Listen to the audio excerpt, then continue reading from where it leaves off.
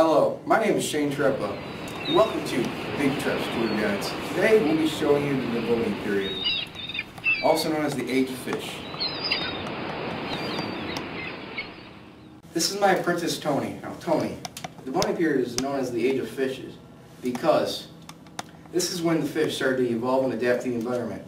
Well, for one example is the shark. The shark back then was much bigger and much more aggressive than it is today because of the, the way the land was back then. There was much more water than there was land.